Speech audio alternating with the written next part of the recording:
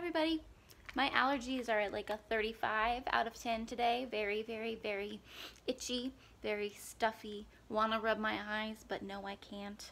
Um, so that's where I'm at. I'm just feeling not perfect. But also I feel fine, so we'll have to think that that's good. My good news for this week is that I um, installed this blind, and I didn't know I could, that is going in the center of our living room, and it goes like up and down.